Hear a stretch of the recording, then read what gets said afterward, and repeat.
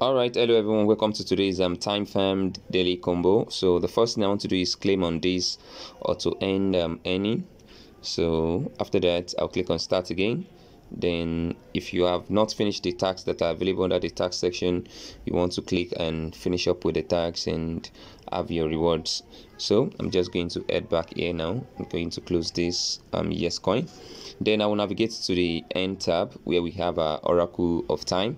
So i'll click on oracle of time. So um, the answer for today's oracle of time is um 2018 so we have to head back six years ago 2018 and that is january January. Oh, this January, January 20th. So our answer for today is January 20th, 2018.